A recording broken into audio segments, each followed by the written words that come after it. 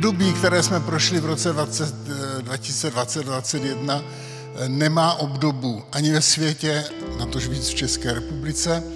Už to, jestli jste si všimli, když se začínalo, tak se řeklo, už zase můžeme zpívat. Jo, ten pojem, už zase můžeme zpívat.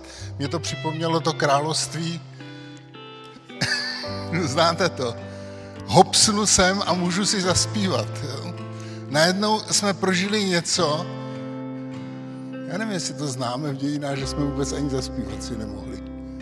A už zase můžeme zpívat.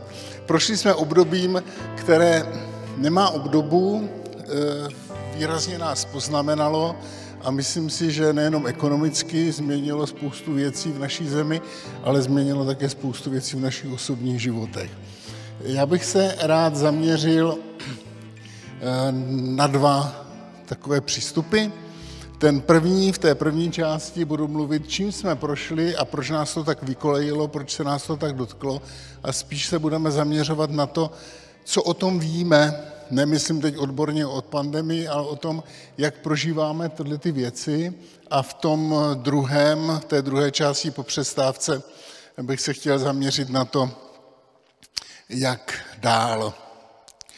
Možná znáte autora který je náš egyptolog, pan Bárta, který hodně o tom mluvil, o té věci, která přijde a docela to předvídá, že to bude pan Cílek. To jsou významní lidé, kteří nejenom říkali o tom, co bude, ale také jak dál. V té první části bych chtěl jenom zhrnout to, čím jsme prošli. To, čím jsme prošli, má celou řadu specifických charakteristik. Nejlíp to dokážou vystihnout kreslené vtipy. Dovolím si pár vtipů eh, tady před vás položit. Eh, myslím, že jsme dlouho nezažili takovou dobu konspiračních teorií, jako jsme zažili v minulé době. Eh, od čipů, které nás ovládají, sledování a nějakých netopírů a a teď to bylo zajímavé sledovat celou tu naši společnost, jak to v té společnosti šlo. Když to byli věřící, tak to byly křesťanské konspirační teorie, a když to byly ateisté, tak to byly ateistické konspirační teorie. A všichni jsme věřili nepodloženým věcem a tak se to odklikávalo na tom, odentrovávalo se, posílalo se to do světa jako něco, co je zaručeně pravda. A mnozí lidé trpěli strachem už ku konci světa o e, cíleném, cíleném likvidaci naší duše, o čipech, narušení DNA, znamení šelmy a tak dál. Bez zesporu COVID přinesl do naší společnosti strach. Uvědomili jsme si, že strach je problémem e, té globalizované civilizace, protože najednou, jak ten COVID šel od Číny přes Itálii pro nás, a stále, když se podíváme na některé obrázky, tak máme strach. Já mám takový zážitek, když jsem poprvé v tom jarním období té první pandemie eh, se rozhodl, že tedy už zase eh, začnu chodit do práce, protože mě jako rizikovou skupinu od jisté doby, jak překročíte 70, tak už jste rizikový pro společnost. Takže jako rizikovou skupinu mě řekli, radši nechoď do práce takže jsem radši nechodil a když jsem potom po nějaké době jsem se domluvil s ředitelkou hospici, že, že zase pojedu, tak jsem měl vlakem poprvé sám vystrašený sáhnout na madla, na všechno, jak to, jak to bylo a s desinfekcí v kapse a teď jsme přijížděli do Olmouce a já jsem si říkal, tady nikdo nevystupuje. Říkal, jak to, že tady nikdo nevystupuje, vždycky v tom vlaku spoustu lidí tady v Olomouci vystupuje. Tak jsem se postavil ke dveří, otevřel jsem je a za sebou jsem měl frontu. Pochopil jsem, že problém byl v tom, kdo první sáhne na kliku. Ten strach nás všude provázel.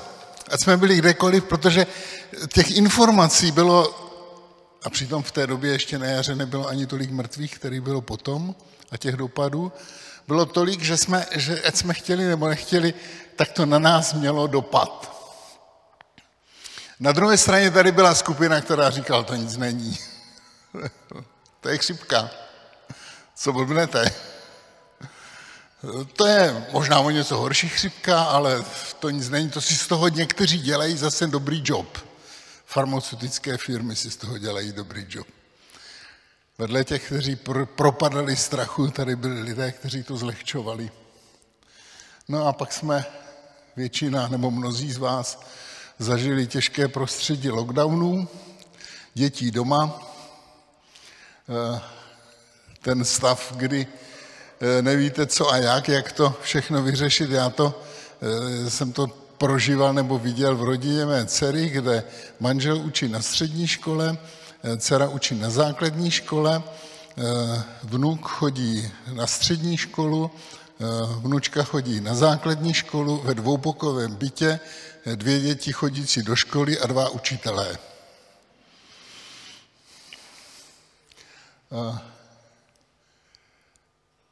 Bylo to k šílení, někteří říkali.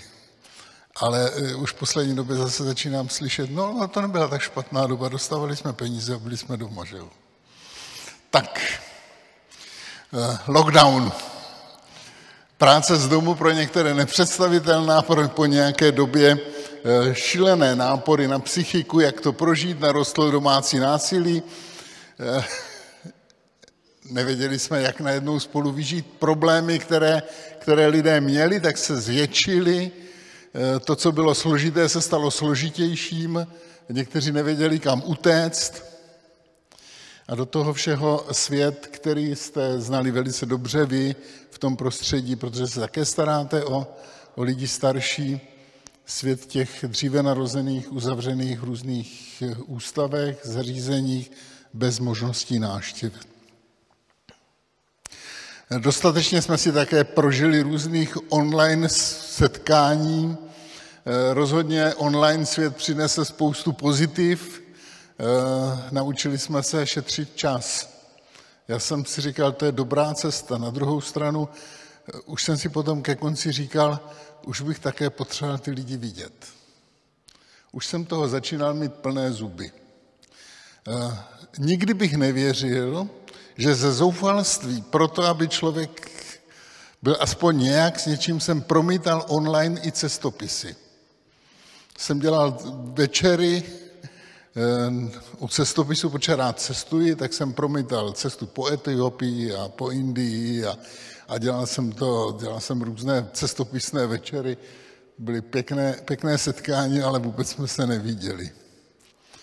Eh, tenhle ten obrázek to přesně vykresluje, ten online svět. Kdo z vás byl na online meetingu a měl doma malé děti a, a nebo kočku, tak velmi dobře tomuhle obrázku rozumí. Online svět nás přivedl do online setkání, kde jsme už úplně ztráceli, co to je osobní kontakt. A tenhle ten vtip se mi strašně moc líbil kdy se kněz při oddávání ptá, Marie, přijímáte Antonína jako svého pravoplatného manžela, pokud ano, stiskněte Enter.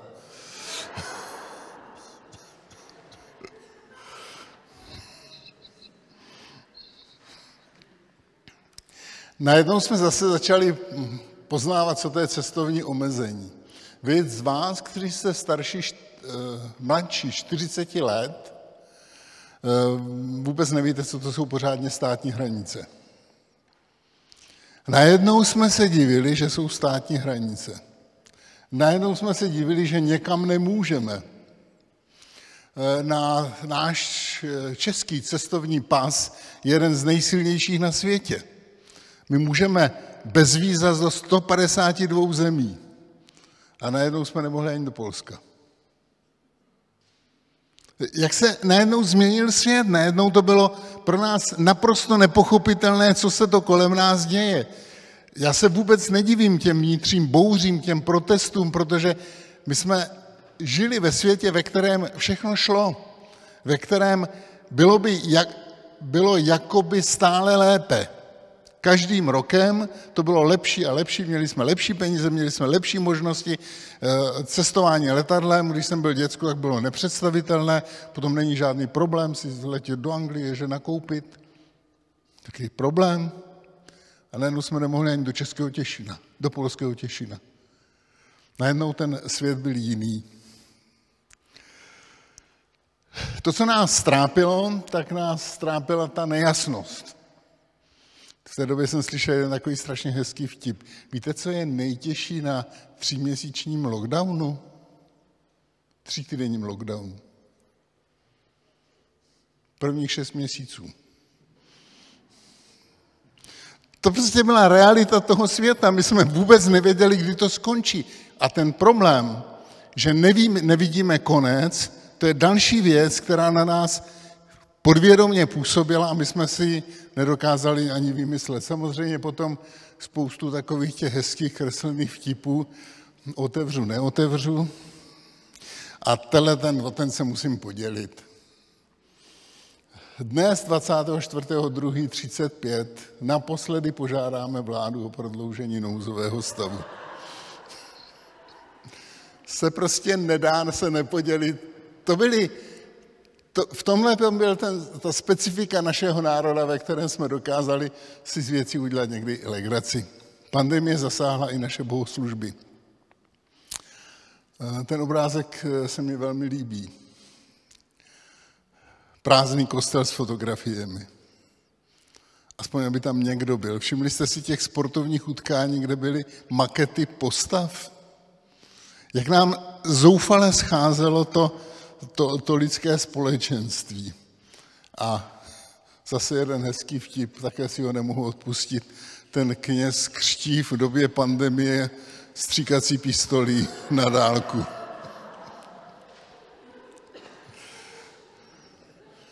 Ale samozřejmě pandemie měla i tu horší stránku.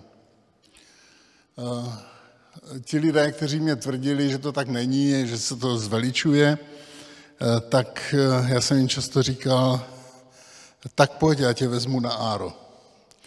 Po, sám po prožitém covidu jsem se rozhodl, že půjdu jako kaplan sloužit na áro.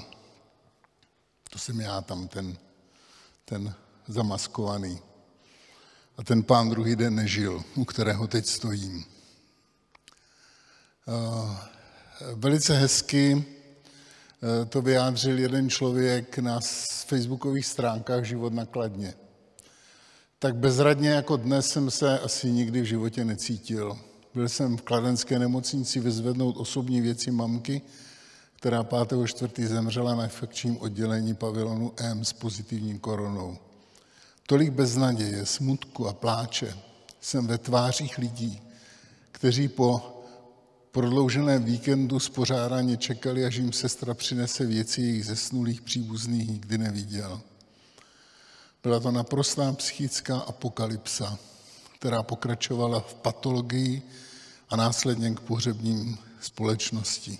Nemám žádný morální vzkaz, jak se kdo má, kde nemá chovat. Jen jsem potřeboval všem lidem napsat, kteří se cítí úplně stejně jako já teď, že v tom nejsme osamocení. Já vím, že i v tomto společenství dneska jsou mezi vámi lidé, kteří ztratili někoho ze svých blízkých a vím, že dnes odpoledne máte pohřeb jednoho z vašich duchovních. Byly to složité situace a protože dnes nebo každý týden ještě pořád na tom áru jsem a s těmi lidmi se potkávám a četl jsem dopisy na rozloučenou, protože rodina nemohla na áro, nebo sami měli covid. Vím, kolik bolesti a úzkosti ta doba přinesla. Nádherně to bylo vyjádřeno na staroměstském náměstí se všemi vzkazy, které tam byly. A já bych chtěl i vám, kteří jste o někoho přišli projevit svou účast, protože nás osobní ztráty zasahují, když vezmeme spoustu věcí rozumem, tak eh, rozum je schopný řadu věcí pochopit, ale v srdci zůstává prostor prázdný. A pro to prázdné místo ve vašich srdcích si vyjádřit svou účast. Víte, co to jsou za čísla?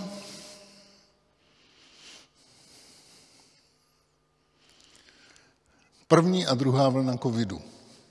píšu si deník a v tom deníku jsem si psal vždycky, který den je, kolikátý den je od toho uzavření. Tak na jaře to bylo 67 dnů. Když potom začal ten druhý, ta druhá vlna a začala se uzavírat společnost, tak jsem si do denníku napsal jedna a udělalo se mi bytostně vnitřně špatně při pomyšlení, že by to mělo být 67 dalších. A to druhé číslo, to je k desátému, kdy začalo nějaké větší rozvolňování, je to 212. Když to sečtete, tak je to tři čtvrtě roku, co skoro celý rok. V době, ve které jsme byli v zvláštním režimu, který, který ještě neskončil. My víme, že to úplně nekončí. Když se nám to jeví a rádi bychom si to přáli, my víme, že pro covidové pacienty eh, covid nekončí vyléčením, pro mnohé z nich. Já jsem jeden z těch příkladů. Já bez toho, aniž bych eh, nedýchal nějaký něco, nevím co, nevídu do prvního patra, bez toho, aniž bych se nemusel zastavit.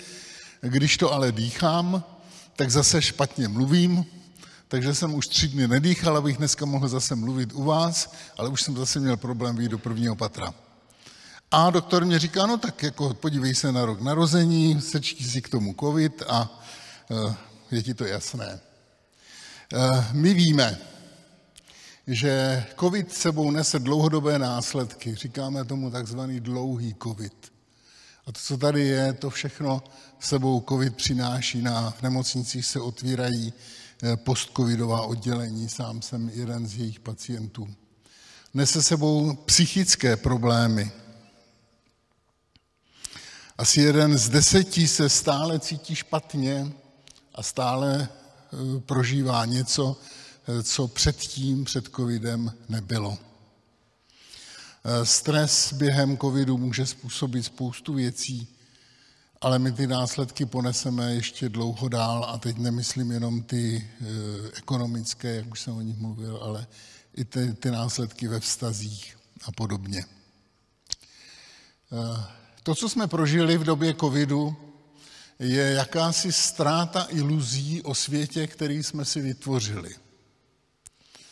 Eh, já už jsem říkal, že jsme se naučili žít ve falešném vidění světa. Každý rok jsme měli lepší mzdu v poslední době. Víc jsme si mohli dovolit. Vy, kteří jste starší, koho z vás napadlo, že budete létat kamkoliv na dovolenou. Mohli jste položit prst na mapu kterékoliv země a mohli jste tam letět. A najednou je to nebezpečné. Já vím, že jsem navštívil země, které bych asi nenavštívil už. Sám jsem cestoval v Indii a teď s hrůzou sleduji, co se v Indii děle, děje.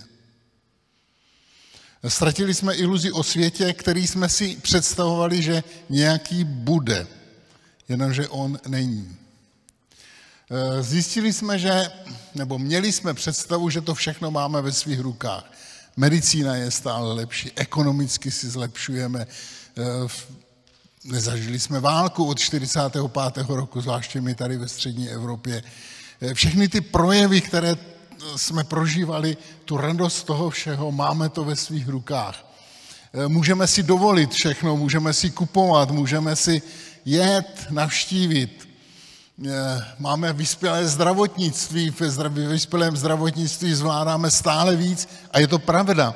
V době, kdy eh, jsem začínal jako kaplan v nemocnicích, ještě v motorské nemocnici, tak děti, které onemocněly leukemii, malé děti, tak bylo tak 20% šance, že přežijí.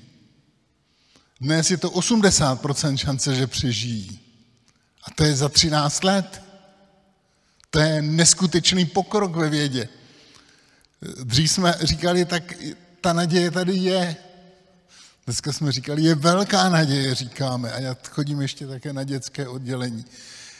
Jenomže najednou jsme zjistili, že to tak úplně není všechno. E, naučili jsme se žít v nárokové společnosti. Já mám právo, já mám nárok. E, pracoval jsem jako kaplan na urgentním příjmu a tohle to byl častý jev. Lidé tam přišli, já mám právo na ošetření. O půlnoci, ve dvě hodiny v noci, e, mám právo. E, to slovo mám právo se stalo jakousi jakousi mantrou, kterou jsme zaříkávali všechno. Přece já mám právo na svobodu slova, na peníze, na důchod, mám právo na to, na to, na to. A najednou zjišťujeme, že ono tak úplně najednou není.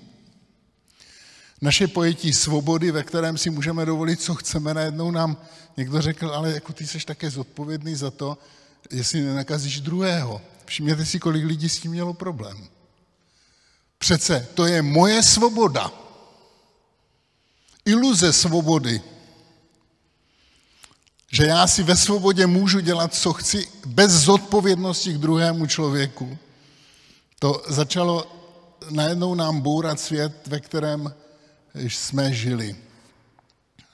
Iluze všemocného státu, který se o nás postará a možná také iluze politiků, kteří, eh, kterým na nás záleží.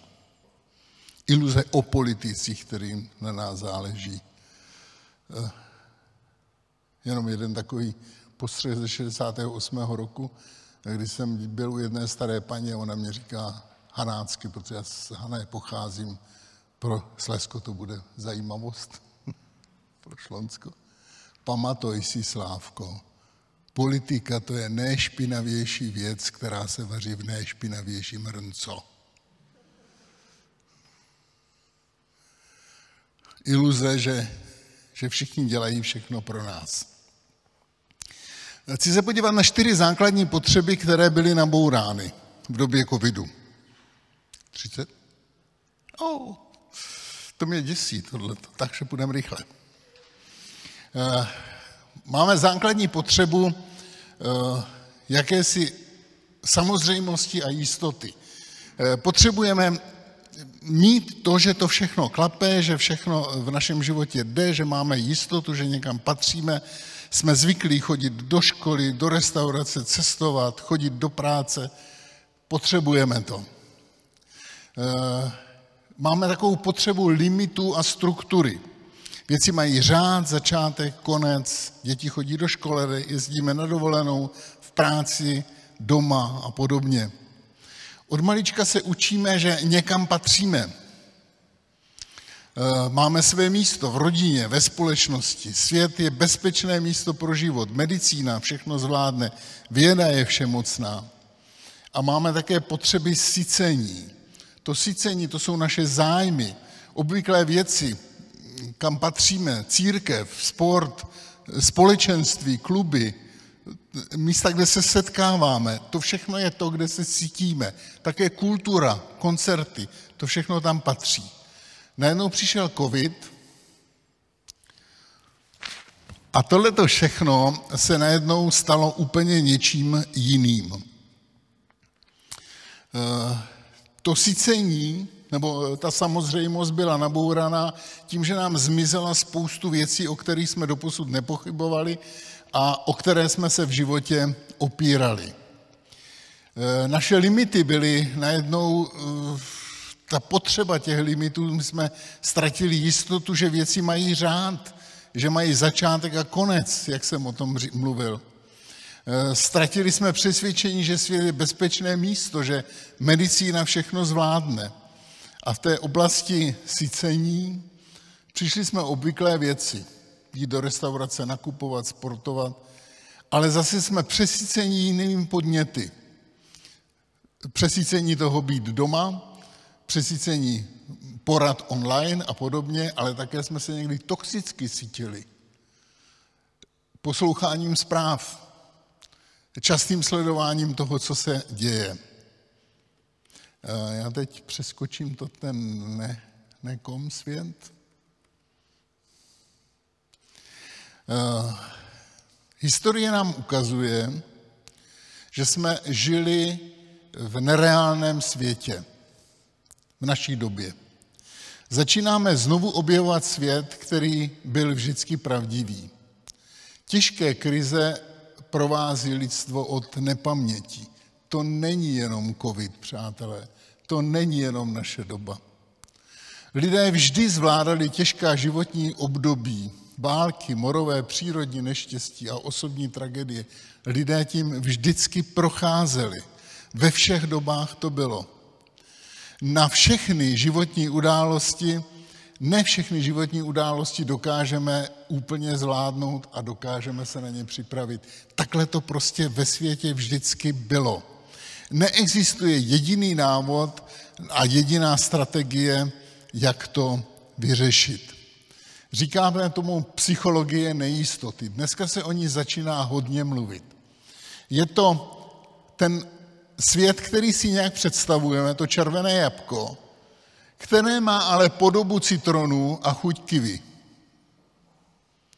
Ta nejistota světa, ve kterém žijeme, není taková, jak bychom si přáli, ale ona taková nikdy ani nebyla. Pouze my jsme se dostali do nějaké fáze, ve které jsme si mysleli, že to takhle musí být. Lidstvo, ta psychologie nejistoty nám dneska říká, že lidstvo všechno neví, a i když se ukazuje, a ukazuje se, že se může výlít. Málo, co je v našem životě jisté, málo, co máme pod kontrolou, ani zdraví, ani život. Ne vše dokážeme v životě řešit a úplně vyřešit. Jednou z mála jistot, kterou máme, je jistota změny. Všechno bude jinak. To je jedna z málo jistot. Teď mě eh, mám pokušení říct jeden hezký vtip, ale eh, nemůžu. Miriam mě hlídá. Eh, změny se těžko předvídají a jsou velmi rychlé. O tomhle mluví Bárta a Cílek. Eh, vy, kteří se nejste schopni vyrovnat s touto dobou, mrkněte se na jeho knihy. Máme, můžeme měnit jen ty věci, které máme pod kontrolou. Ale ve skutečnosti, kolik jich máme pod kontrolou? Někdy s lidmi hrám takovou hru, že si na zem namalujeme kruhy. V tom úplně vnitřním jsou věci, které máme stoprocentně pod kontrolou, pak jsou tam věci, které máme částečně pod kontrolou a v ně jsou všechny ty, co nemáme vůbec pod kontrolou. A pak si tam dávají ty svoje problémy a zjistíte, že většinu věcí nemáme na ně vliv v životě. Ale my bychom chtěli, my bychom si je chtěli udržet. A to nám vytváří ten, ten problém toho nejistého světa. Nejistota e, má také dopady na to přijímání. My rozumem, jako racionálně jsme schopni některé věci přijmout, ale naše srdce nám říká úplně něco jiného. Uvedu to na příkladu, když mě umřela maminka, tak jsem přišel do nemocnice si pro věci po mamince a saniták mě ji předává a e, říká mi, vyjadřuji vám upřímnou soustrast. Já jsem si říkal, co ty sanitáku mě budeš vyjadřovat upřímnou soustrast. To byla moje maminka. A tak jsem říkal, no ona měla skoro 90 let a teď jsem to takhle racionálem, jo, všechno vzala. Ona si přála umřít v klidu, ve spánku, to se jí stalo. Eh, přála si být co nejdéle doma, taky byla, poslední tři dny byla jenom v nemocnici. On se na mě vážně podíval a říká, to, co teď říkáte, to říká váš rozum. Vaše srdce to cítí jinak. Já svou účast vyjadřuji vašemu srdci. A ten přesně vyjádřil to napětí. My rozumem věci vezmeme, ale když se dotknou našeho srdce, tak najednou to je všechno jinak. Najednou každé úmrtí je jiné, každá bolest je jiná. A pak je do toho svět přání. My bychom si přáli žít ve světě, který je dokonalý. My bychom si přáli, abychom neumírali, my bychom si přáli, abychom nebyli nemocní. A do toho máme víru. A se modlíme za to. Pane Bože, ty určitě ho zachráníš. A najednou to nestane. Různé nejasnosti vevnitř, které máme. A do tohohle světa jde ta realita a to je to, co se v nás pere. To je ten svět, pro který je to pro nás těžké. To je ten složitý svět, se kterým se těžko vyrovnáváme. Teď poslední myšlenku této části. Tři věci, se kterými se vyrovnáváme. To je strach, odvaha a víra ve smysl. Toto se v nás pere. Co je to strach? Jak jsem o něm mluvil. Strach to je to, co se nás bytostně dotýká z něčeho, co má přijít, co nějakým způsobem na nás působí negativně. Ale ve skutečnosti strach je pozitivní. Strach nemá jen blázen. Eh, strach nemá žádný motorkář, který se šíří, řítí šilenou rychlostí po silnici. To je blázen. Strach bych neměl, kdybych se postavil tady nahoru na to zábradlí a, a chtěl skočit dolů a se řekl, skočím bez problému. Strach je dobrý, to je ochrana. Strach, ten není jenom negativní. Strach znamená to, že také někoho milují. A vím, že někdo miluje mě. Víte, co je nejhorší v partnerském vztahu? Když zjistíte, že ten druhý se o vás nebojí. V momentu, když se o vás váš blízký přestane bát, tak vám vlastně sděluje, že jste mu lhostejní. A to je dobrý strach, který nám najednou schází.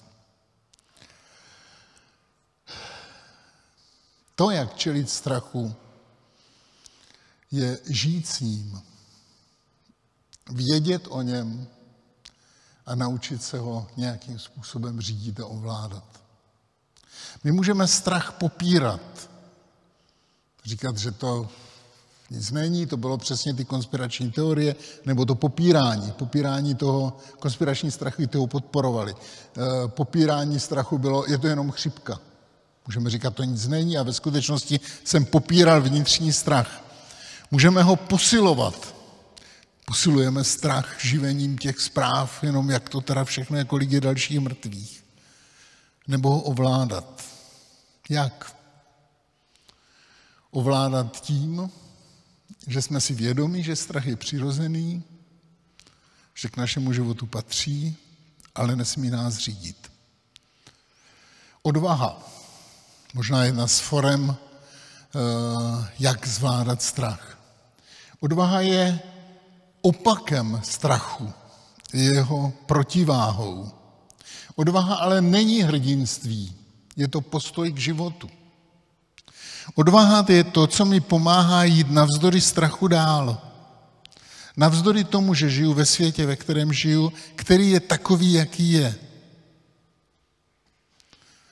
Odvaha je to, že uděláme krok navzdory tomu, že cítíme, že, že je to složité, ale my víme, že musíme dál. A musíme něco přijmout a musíme něčím projít. Ochota akceptovat to, co život přináší. To, jak jsem říkal před chvílí, takový svět vždycky byl. Pouze my jsme se naučili představám falešným, že se nás nic takového nemůže dotknout. Takový svět vždycky byl. A odvaha je akceptovat to, co ten život přináší. Moc se mi líbil výrok z filmu Království nebeské. Tady, chlapče, nejsi v nebi. Tady je svět. A svět, to jsou potíže. To prostě musíme vzít na vědomí. A odvaha je akceptovat to, že na takovém světě žiju a že se to může dotknout i mě. Strach je to, co mě ničí, odvaha je to, co mě pomáhá jít dál. A třetí, víra ve smysl. Víra, že to všechno má nějaký smysl. Víra to je ta odvaha žít, žít v nejistotě a žít navzdory. Eh, z Franklovy teorie jsme vyvodili tuto rovnici. Z rovná se U minus S. Eh, Frankl to takhle nenapsal, ale z jeho teorie to můžete vyvodit. Z to je zmar. U to je utrpení, ty těžkosti a problémy. S to je smysl. Zmar v životě, to je utrpení, ve kterém jsem ztratil víru ve smysl. Že to má nějaký smysl. Ten smysl, o kterém jsme slyšeli i v tom úvodním zamyšlení. Smysl, že ještě to nevidím. To je ta víra v něco, co nemám v rukách, ale ono to možná nějaký smysl bude mít. Možná ho někdy uvidím. A chci vám říct, že možná ho neuvidíte a přece to smysl bude mít. Smysl možná pro někoho, co už nebudeme vidět. Frank říká, že člověk je připraven a ochoten přijmout jakékoliv utrpení, jakmile a dokud je schopen v něm vidět nějaký smysl. A to je to, co nám v tom pomáhá. Naděje to není přesvědčení, že to dobře dopadne, ale jistota, že to má smysl bez ohledu na to, jak to dopadne. My nemůžeme nikomu slíbit, a když jsem u těch nemocničních lůžek, určitě se uzdravíte.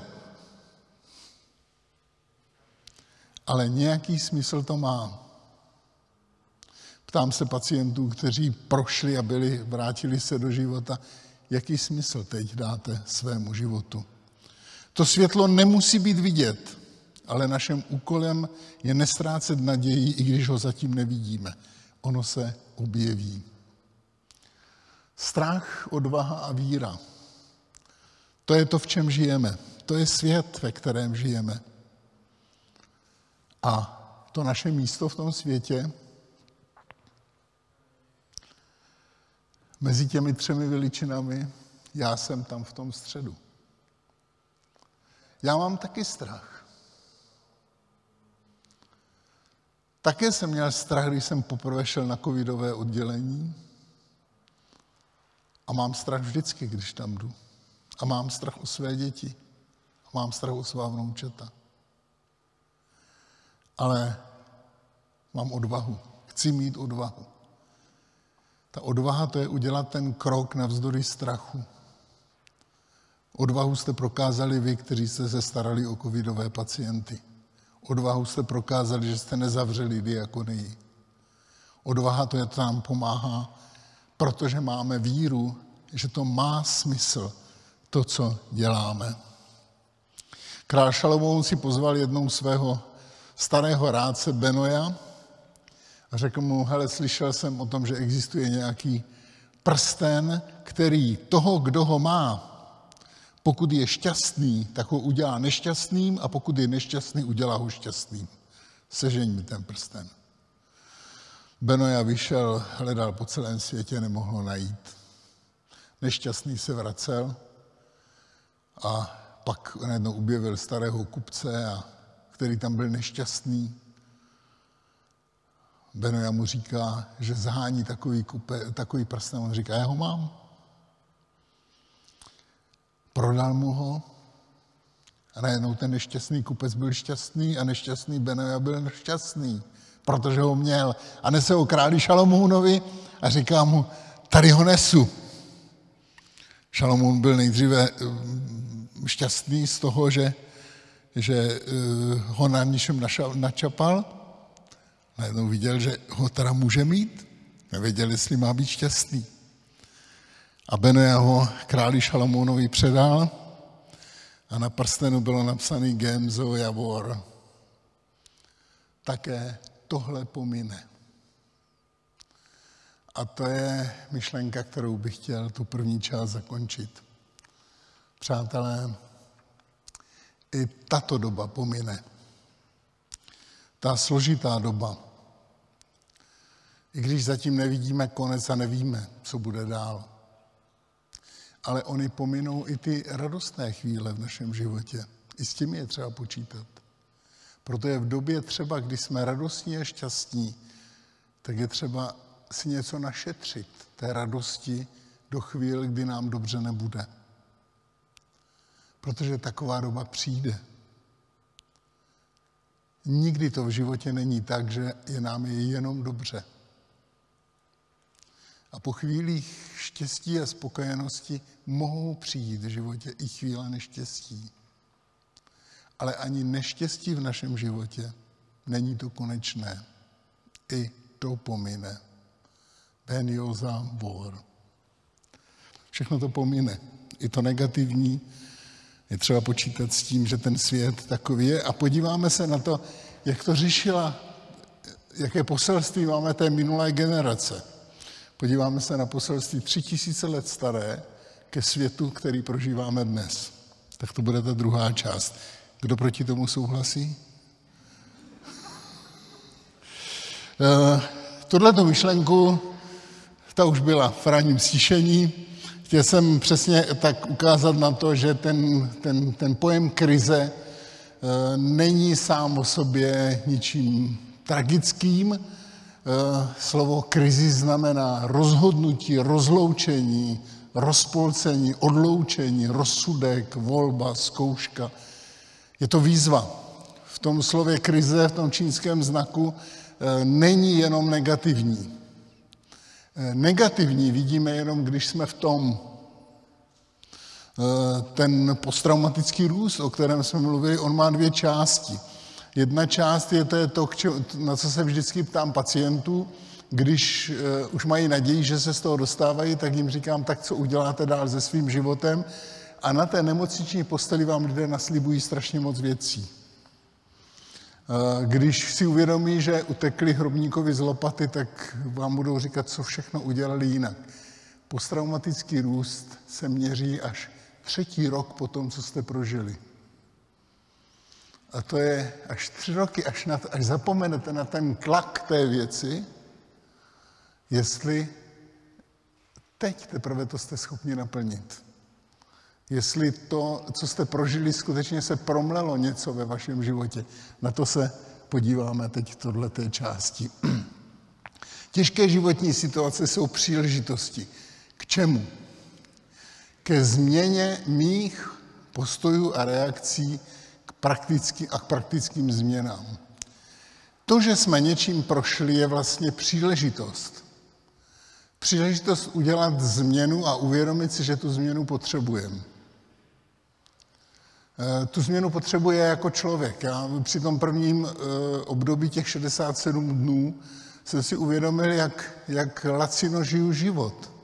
Že ráno stanu a eh, rychle se pomodlím a něco pojím a potom protože ještě pořád dělám, tak valím do práce a večer padnu, protože už také mám nějaké léta, už nejsem schopný toho výkonu, co jsem byl, ale podívám se do kalendáře a valím dál. Ale já jsem si najednou říkal, ale takhle přece žít nemůžeš. A, a celá ta doba těch 67 dní jsem najednou si říkal, teď máš šanci, jestli teď to nezměníš, jestli teď něco nezměníš ve svém životě, pak to těžko změníš. Ten čas toho covidu tě dal příležitost.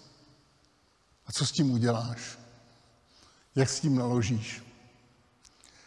Eh, těžké životní situace eh, nám dávají možnost nahlédnout na to, co funguje, co jde a co můžeme dělat. A nebo co bychom také dělat nemohli. Nemuseli. Protože ten život, který normálně žijeme, který má ten svůj stereotyp, jo, ráno vstaneme, bla, bla, bla, všechno to takhle běží a je to od pondělí do pátku a pak nějakou podobu má víkend, ten, ta krize, ta, ten, ta pandemie najednou nás zastavila a řekla nám, ale děláš to dobře? Je to, jakým způsobem žiješ, je to skutečně to nejlepší a takhle bys chtěl žít, takhle jsi to představoval a takhle to skutečně chceš ve svém životě, aby to bylo až do konce? Krize dává příležitost se něco dozvědět o sobě. O sobě, jaký ve skutečnosti jsem. O tom, eh, jaký jsem, pokud se hlásím ke křesťanství, ne eh, ten eh, kostelový křesťan, ale ten, ten skutečný. Jaký jsem jako, jako manžel, jako manželka. Jaký jsem zaměstnanec. Jaký jsem člověk. To je, to je vlastně příležitost k zastavení, příležitost, aby se, abychom ve svém životě třeba něco přehodnotili. Abychom hledali, co dělat lépe, jinak. A já v takovou, dělám takovou na výcviku nebo někdy v, v takových těch osobních rozhovorech s lidmi, když tam za mnou přichází do toho mého kanclíku v nemocnici, tak řešíme některé věci a když dojdeme k tomu, že by něco chtěli změnit, tak já tam potom při tomu přidávám, tak co uděláš, kdy to uděláš a kdy to zkontrolujeme. Protože ten růst nemá v sobě jenom rozhodnutí nebo pocit, že bych měl něco změnit. Ten skutečný růst je růstem tenkrát, když si řekneme, tohle to bych chtěl změnit, to není dobré, vyjádření té nespokojenosti, co tedy udělám, jak to udělám, kdy to udělám a kdy se na to podívám, jestli to je dobré. Po jakém čase. To je ta korekce dráhy letu, jak se to dělá s družicema nebo s raketama, které posíláme. Tak, co jsme se dozvěděli o sobě? Nabízím vám pár, oso- pár otázek. Co jste se o sobě dozvěděli jako o člověku? A já teď vás nebudu ptát. A prosím vás, neptejte se mě, co jsem se dozvěděl o sobě. Nic hezkého to nebylo. To je příležitost, jak už jsem o ní říkal, zastavit se a zříct si tak, tak jaký jsem to vlastně já člověk. V rychlosti života tenhle ten pohled nemáme šanci. V zastavení je to příležitost. Co jsem se dozvěděl o sobě jako o člověkovi? O mně, o mém charakteru, o mých návicích, o mých hodnotách, o mém nasměrování, o mém přijímání života, jak ho vnímám, jak ten život chci prožít. Co jsem se dozvěděl o sobě v mé rodině? To je strašně zajímavá otázka. Co jsem se o sobě dozvěděl, o Wurstovi, jako o manželovi? Co jsem se o sobě dozvěděl, jako o dědečkovi? Tu otázku je důležité si položit a tu otázku si nepoložíte, když za tři minuty vám jede vlak. Nemáte šanci. Tu otázku si můžeme položit, když nás naštve lockdown. Když nás začnou věci trápit. Když najednou nemůžu dělat, co jsem vždycky dělat mohl a co bych strašně rád dělal, protože jsem člověk aktivní. Mě říkají lidi na posteli, říkají, já jsem aktivní člověk, a já tady jsem nemoc, v nemocnici nešťastný, protože jsem aktivní. Já říkám, vy můžete být aktivní, pořád můžete být aktivní. Teď tady musím ležet. Říká, buďte vděční za to, že tady můžete ležet, protože už jste tady taky nemusel ležet na covidovém oddělení. No a jak teda můžu být aktivní? Přemýšlejte o sobě. Co jste se naučil tou nemocí? Co jste se dozvěděl o sobě? Jsou otázky, které kladu a jsem nerad, když mě někdo klade. Co jsem se dozvěděl o, zaměst, o sobě jako o zaměstnanci? To je taky dobré si položit. Jo? Já jako zaměstnanec Sleské diakonie. Jsem ten zaměstnanec, který, kterému na té organizaci záleží, nebo tam chodím jenom do práce. Jsem ten tvořivý nebo bořivý v té organizaci. Jsem ten nesoucí inspirace, anebo jeden, který se veze? Víte, jak se dělí dobytek? Zvířata? Natažný a chovný. Někdy je to tak i s lidmi. Někteří jsou tažní a někteří jsou chovní. Patřím tam nebo tam, jsem ochotný zabrat, nejsem. To je dobrá zpráva. A co s tím uděláme? Vždycky musí následovat ta otázka. To poznání sama sebe má smysl jenom tenkrát, když s tím něco chci udělat. A pak ještě by tam měla být otázka, kdy to uděláš a kdy to budeš kontrolovat. A dobře to uděláte, když řeknete, já chci udělat tohleto, Miriam, chci udělat tohleto, tobě dávám za úkol, aby se z něj za půl roku zeptala, jestli jsem to udělal. Pak to poznáte, jak se jí budu vyhýbat. Je důležité nejenom k něčemu dojít, ale nastavit si také sebekontrolu, protože sebekontrola jenom sama od sebe, přátelé, už jsem dost starý na to, abych v ní nevěřil. Protože člověk je génius, když hledá moudré důvody pro nemoudré činy. My si všechno zdůvodníme.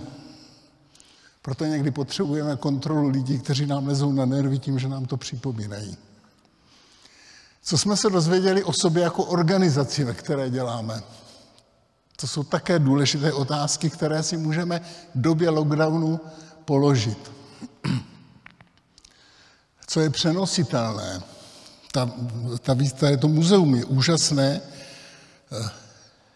Tam si nádherně na tom můžeme, na tom muzeu, které tady máte, si můžeme nádherně ukázat na, na věci, které, jak se můžeme stavět k vlastní zkušenosti. Přenositelný není ten starý kotoučový magnetofon. Ale přinositelné je to, co zatím bylo.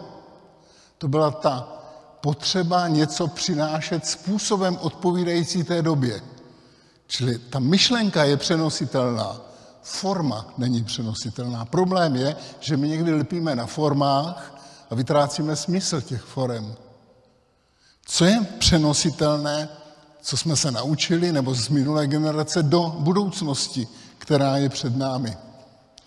Co bychom měli dělat jinak?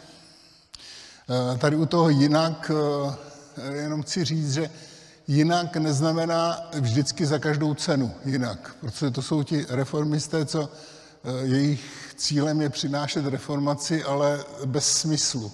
Ta nemá smysl, ale zase konzervativní, který lpí na věcech, i když už vyčpěli v době, to je také negativní.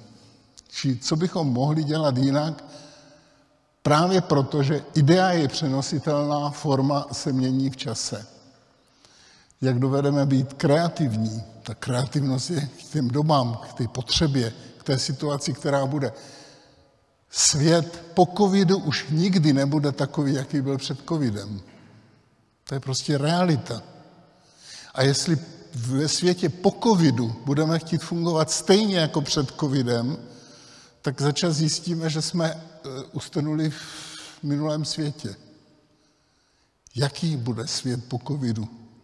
Jak na něj budeme reagovat i ve Sleské diakonii? E, možná jsme se také dozvěděli, jaký jsme kolektiv. Jestli dovedeme táhnout jeden za druhého, nebo si závidíme ty, ty uh, home office, a kdo ví, co tam dělal na tom home officeu, že jo, když měl to volno a my jsme ho museli platit a, a kdo ví, jak to s ním bylo a, a ta, tam musela chodit do práce, protože nemá děti a tam, musela chodit, tam do práce nemusela, protože má děti a musíme dělat na ní. To jsou zprávy o kolektivu. A to je dobře, že tohle ty věci, pokud se stanou, to není tragédie, to je normální, to nás napadá, to v té hlavě protože prostě běží. Ale teď to je nějaká zpráva o tom, a teď je třeba i v tom kolektivu růst, protože lidé si nevolí organizaci jenom proto, že tam vydělávají peníze. Výzkumy prokazují, že lidé budou dělat raději za méně peněz v organizaci, ve které je dobrá pohoda a ta práce má smysl, než organizaci, kde ta práce smysl nemá, dostanou tam třeba víc peněz a je tam špatná, špatné vztahy. Či i tohle to jsou věci, které jsou velice důležité.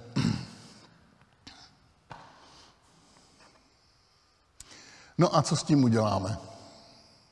To je zase moje obvyklá otázka.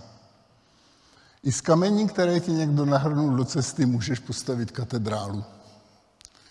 To, že jsme prožili covid, to, že jsme prožili období pandemie, není žádná tragédie to jsou kameny ke katedrále. pokud z toho něco dokážeme vytěžit. Eh, v té první části, v té první přednášce jsem mluvil o tom, netrpme pocitem, že my jsme jenom ti nešťastní. Tohle ty věci se vždycky děly, ta forma pouze nás zaskočila, protože už jsme si od toho odvykli. Ale teď je třeba udělat ten další krok, ten krok v životě, který nás někam posune. Eh, to byla ta první část, ve které jsem chtěl přinést nějaké takové ty, ty výzvy, které vnímám v té postcovidové době, pro nás osobně, pro mě jako pro člověka a pro vás jako pro organizaci. E, stejné otázky kladu i v našem mobilním hospici. Co jsme se naučili a měli jsme možnost se naučit hodně věcí. A zjistil jsem jednu zajímavou věc, ale to vy také víte, že my si řekneme nádherné věci na poradě a odpoledne dojde ke střetu a všechno to krásné, jak jsme si řekli, jak se budeme chovat, jen jednou je pryč. A nevím, jak to funguje, ten, tak se to změní v tom čase. Ale prostě to jsou naše témata. Tak, půjdeme do uh, druhé části a tady bych se chtěl vrátit do tři tisíce let starých myšlenek, krále Šalomůna. Už jsem ho vzpomínal v tam prstenu Benze Javor, všechno je jinak. Eh, v knize Moudrosti, knize, která se jmenuje Kazatel, eh, je spoustu zajímavých postřehů a já bych vám na šest těch postřehů chtěl ukázat jako takové to ukotvení v tom životě, jak ho tedy v té pandemii žít, po té pandemii žít. A schválně jsem si řekl, že se vrátím do tohohle období, abychom si uvědomili, že ty otázky, které si řešíme my a výzvy, které si dáváme my v dnešní době, si dávali i v té minulé době. A jde o to, abychom ty výzvy uchopili a abychom s nimi pracovali. Tak šest takových sdělení, které bych vám chtěl přinést. To první sdělení z knihy eh, Kazatel pořád chci připomenout jenom, že se jedná o tři tisíce let staré poselství. Moudrý člověk se nevyhýbá myšlence na smrt, to pošetile zhledá v radovánkách falešnou útěchu. V den dobrý užívej dobro, které ti nabízí. V den zlý pamatuj, že i tento ti dal Bůh, abys mu více v důvěře se mu odevzdal. Všimněte si, jak realisticky mluví o životě. Život nikdy v žádné době nepřinášel jenom dobré, ale nepřinášel ani jenom zlé. A je to přesně to, jak s tím prstenem je to vyjádřeno. V dobrém čase buď vděčný za to, co máš, abys v tom zlém čase tím dokázal projít. Život přináší dobré i zlé. A v tom životě s tím musíme žít a musíme s tím hospodařit. Budu vděčný za to, když přichází dobré dny.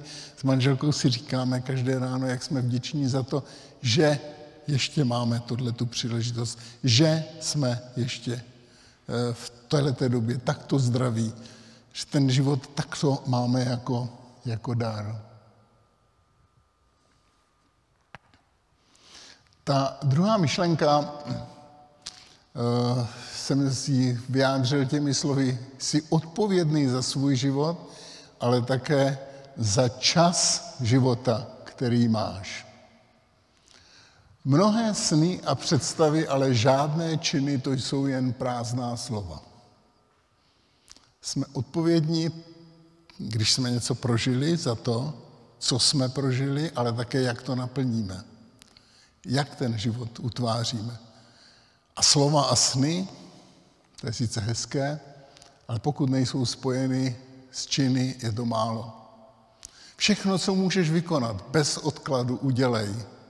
Protože v hrobě, do kterého se ubíráš, už není žádná činnost, ani myšlení, ani poznání, ani moudrost. Eh, dneska odpoledne ještě po cestě na zpátek v Olomouci nahrávám pro nějakou paliativní společnost nějaký rozhovor a jedna z otázek tam je, eh, co si nejčastěji lidé řeší před smrtí. Tak nejsem schopný odpovědět na to, co lidé obecně nejčastěji si řeší, ale časté rozhovory s lidmi, kteří si uvědomují svůj konec, je co jsem měl udělat jinak. Jak jsem ten život, který mě byl daný, eh, mohl lépe využít? Kdybych teď viděl život a měl tu příležitost znovu žít? Eh, já říkám, že stejně bychom to udělali blbě. Eh, protože my jsme nepoučitelní. Ale je důležité si ty otázky dávat v životě až na konci života. To je sice hezké, ale to je už jenom taková retrospekce, ale v tom životě, co bych měl dělat jinak? To je to, v čem tě ten covid zastavil. Jak to můžeš? Užívej si život, dělej, co můžeš, protože jednou přijde den, kdy už nebudeš moci dělat. A ten přijde. A přijde, možná nás zaskočit dřív, než si myslíme. Já už tak trochu pořád už se trochu děsím toho, že přijde den, kdy nebudu moc nic dělat. Ale vím, že to přijde, protože každým dnem jsem tomu blíž.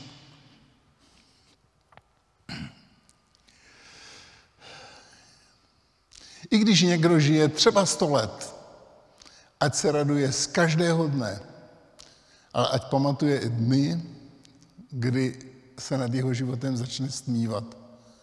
Neboť i těch bude dost. Všimněte si ta, ta zodpovědnost, která z toho textu vyzařuje k tomu zodpovědnému prožívání života. Ten život, který máme, to je ten čas naší přítomnosti. My ani tu budoucnost nemáme v rukách, to jsme mluvili v té první přednášce, že máme jednu velkou jistotu, že všechno je nejisté, že všechno to je jinak. To je ta psychologie nejistoty, tady to začíná v poslední době strašně zdůrazňovat. Těch jistot moc nemáš. Já vám nechci pokazit náladu. Ale to je prostě realita světa. Ale právě proto ten život v tom čase, který ho máš, teď ten čas, který máš, tak teď ho užívej a teď ho prožívej. Takhle nám to říká už tři tisíce let staré poselství. Třetí myšlenka. Nejsme odpovědní jenom za sebe, ale i za životy jiných lidí. Když tam předtím bylo napsáno, teď ten život prožívej, tak ho neprožívej jenom pro sebe. Eh, to, co mě přivedlo k poznání, že není nic lepšího, než se radovat a prokazovat sobě i druhým dobro. Ale to je strašně dobré tohleto. Všimněte si, prokazovat sobě i druhým dobro. Naštvaný člověk na sebe není schopný prokazovat dobro druhým lidem. Člověk, který je v sobě nešťastný, nikdy nebude užitečný pro jiné lidi. Pečuj nejdříve o sebe. Pečuj o svoji vyváženost. Dělej si radost v životě. Dopřávej si radost. Pak z té radosti můžeš dávat. To je ta filozofie, která je tady řečena. Prožívej radost nejdříve sám. Sám si srovnej věci ve svém životě. Eh, někteří lidé si chtějí svoje neštěstí řešit tím, že chtějí pomáhat druhým lidem a myslí si, že vyřeší své neštěstí. To je omyl, nevyřeší ho. To je útěk od vlastního neštěstí. Ale až tenkrát dojdeš vlastní vyváženosti, tak tenkrát budeš moct v tom čase, který ti byl dán, být užitečný druhým lidem. Svůj chléb rozdávej a pouštěj ho po vodě. Po čase se ti vrátí. Dělej dobro, možná eh, někdy ho také zažiješ. Eh, tady není žádná záruka, že když budete dělat dobro, že se vám stoprocentně vrátí. Ale možná se s ním také setkáte. A úplně jinak, než si myslíte. A skrze jiné lidi, než jste si mysleli. Ale já jsem ještě neviděl člověka, který by byl ve svém životě vděčný a sloužící, aby e, umíral v zahořklosti. Často odchází ti lidé s velkou vděčností. Byla moje maminka. Ta se mi nikdy neslyšel v životě reptat. Další poučení. Náš život má přesah i přes smrt. A na to bychom také neměli zas, e, zapomínat. A vrcholí v setkání s jeho dárcem. E, ateismus postavil všechno na tom, že že eh, všechno to, co je, tak my to vlastně utváříme a už nejsme nikomu zodpovědní. V momentu, jak začneme věřit tomu, že nejsme nikomu zodpovědní, tak to dopadne tak, jak to dopadlo s celým tím systémem, ale s každým systémem. S každým kapitalistou, komunistou, s kýmkoliv, který ztratí zodpovědnost za svůj život před někým, a my máme i mezi bohatými lidmi máme nádherné lidi, že kteří eh, ve své zodpovědnosti také si uvědomí, že jsou za to zodpovědní, teda ve svém bohatství si uvědomí, že jsou za to zodpovědní před sebou i před tím, který jim život dal. Jinocho, raduj se ze svého mládí, užívej dobré věci v rozkvětu svého života. Hele, to někdy mají představu lidé, že víra člověka svazuje, že mu bere štěstí. Ne, užívej si svůj život. Jdi za věcmi, kterými tě táhne tvé srdce které se tvým očím nabízejí, ale pamatuj, že všechno, co vykonáš, se budeš zodpovídat u božího soudu a to není strašák. To je prostě ten pocit zodpovědnosti. Já nemohu užívat svobodu na úkor druhého člověka. Já nemohu páchat věci, kterým ubližují druhým lidem. A jsem zodpovědný i za to, abych nepáchal zlo sám sobě. Boj se Boha, zachovávej jeho přikázání, jenom tak budeš celým člověkem. Ale to je hezká myšlenka. Celým člověkem. Ten člověk, který má tady své místo, sám pro sebe chce být šťastný, chce být užitečný pro jiné lidi a má nějaké směřování v životě. To je celý člověk. Člověk, je, který hledí do budoucnosti i s tím vědomím té zodpovědnosti za život. Eh, přikázání, eh, zákon v hebrejštině, to je jako ten původní význam v hebrejštině jako ukazatele. To je to, co ti ukazuje cestu, po které máš jít. Já prostě jsem nemohl, když jsem chtěl dneska dojet do Českého Těšína, si říct, tak já pojedu do Brna. Bych asi nedojel. Když chceš být šťastný, tak ti dávám ukazatele.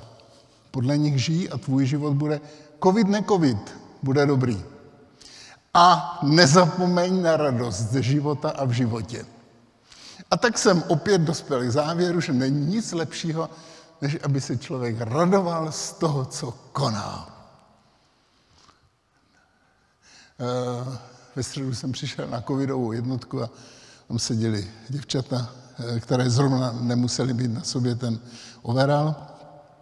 A já říkám, tak co holky, jak se máte, jak to prožíváte? co potřebujete, co bych pro vás mohl udělat. A oni říkají, přijďte sem a jenom se takhle usmívejte, jak se usmíváte, hned nám bude líp. Říkal, dobrý, no, já jsem placený za úsměv. Eh, vnášet radost do svého života. Tím, že jste sami šťastní a radostní, můžete přenášet radost na jiné lidi. A tak jsem poznal, co je dobré a pěkné jíst a pít a mít se dobře při vší té námaze, která člověka potkává v životě, který mu Bůh daroval. Jestli Bůh dává člověku bohatství a majetek, jsou též jeho darem, nezáviďme mu ho. Můželi se z výsledku své námahy radovat a brát z nich podíl. Když jste si sedli a řekli, tak teď si fakt uděláme pěkné posezení a a něco si pěkného upečeme a pěkného uděláme. Dobře si posedíme. Přátelé, na Kavkaze, když jsem dělal ještě v Adře, jsem se naučil, co znamená rodinné setkání. My to neumíme. Já když mám uh, seminář o rituálech, tak tam vyprávím uh, rituály uh, rodinných oslav na Kavkaze. Přátelé, já jsem zíral. My to neumíme. My máme bufetové jezení, ale skutečně se dokázat radovat připustit si i to labužnictví. Já mám svého přítele, ten když sedne k tomu stolu,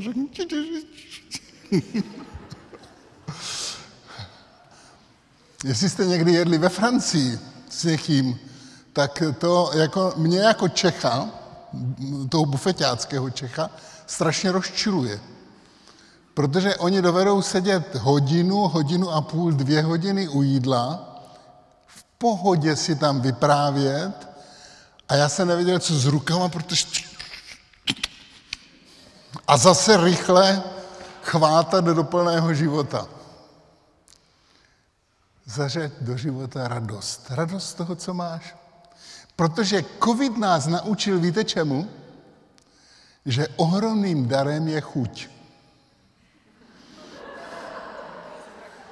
My si nadáváme na chuť, říkáme si, mám chuť, protože...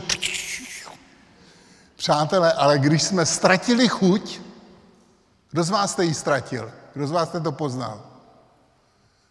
Jaký to bylo?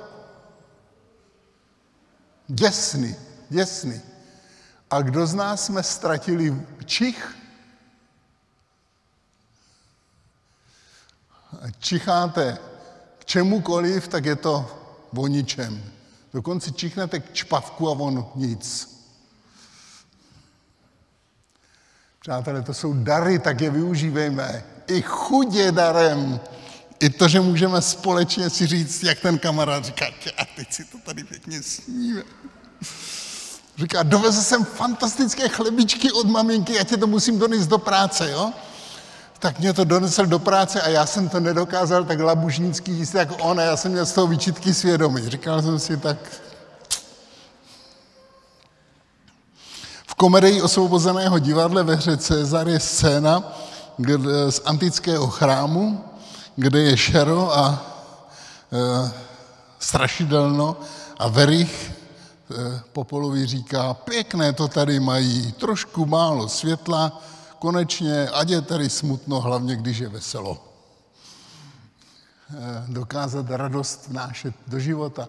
Všechny dny, jímž Bůh naplnil tvůj život, si užívej se ženou, kterou si zamiloval, s tou jednou, jo, co si zamiloval. A to je tvůj podíl na život při vší té námaze, kterou na tom světě máš. Užívej si radost, užívej si radost ve vztazích. To je to, nám, co nám covid nabídl.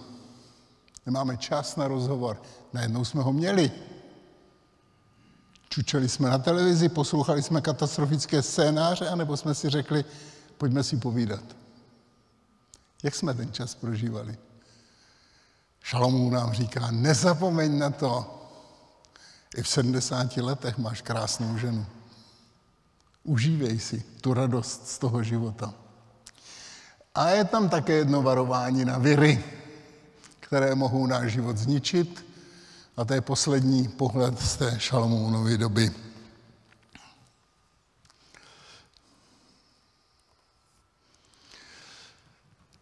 A proto se nedělej příliš spravedlivým ani moudrým, proč by si zněl škodit. Nepřičítej si ani přílišnou hříšnost a nerozumnost, proč bys měl předčasně zemřít.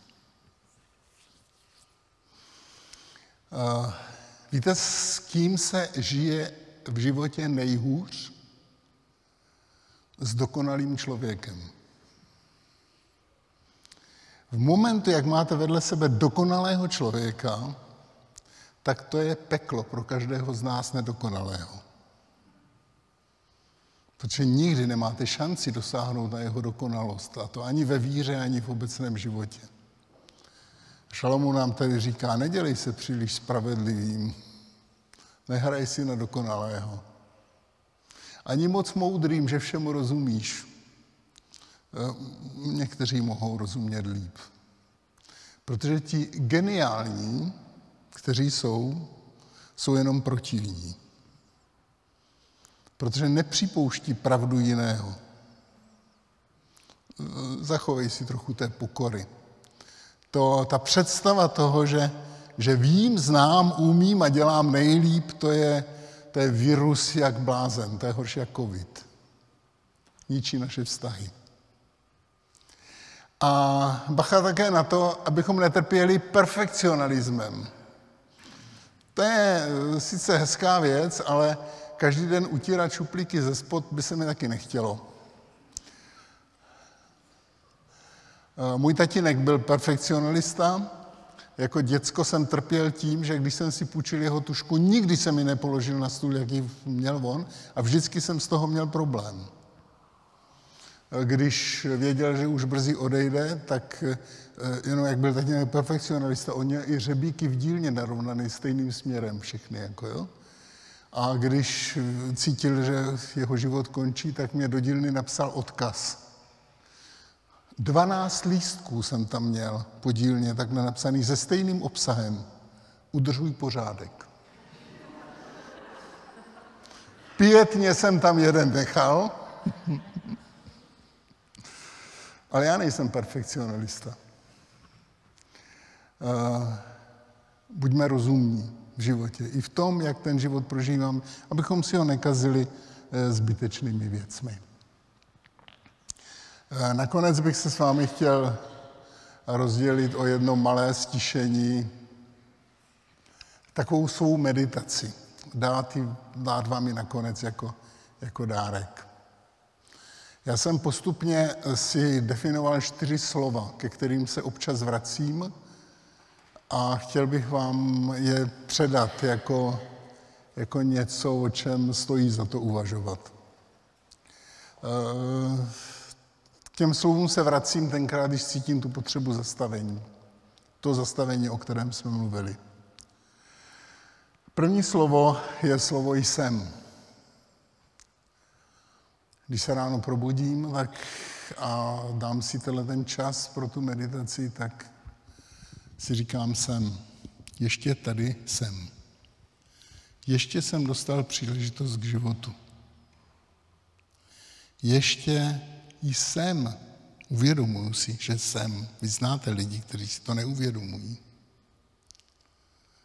Ještě jsem také manžel. Jsem dědeček. Jsem kaplan. Jsem ten, který pracuje v diakonii. Jsem ten, který může sloužit jiným lidem. Všimněte si, co to jsem všechno obsahuje a jak to najednou dává našemu životu novou podobu. Já mám příležitost, já ještě tady jsem. Ještě jsem tím, který také může prožívat tu radost s někým u stolu. Jsem tím, který může sloužit. Ještě tu jsem. To je přece ohromná věc. Druhé slovo je slovo mám. Když se ráno probudím a nahmatám kousek vlevo, tak tam mám ruku, které se můžu držet. To je dar. Mám taky chuť k jídlu, kterou si někdy vyčítáme. Mám střechu nad hlavou. Mám děti. Mám lidi, kteří, které mám rád, kteří vytváří tomu moji sociální bublinu. Mám důchod. Víte, kolik lidí ho nemá na světě? Já jsem dost cestoval světa, abych viděl svět reálný.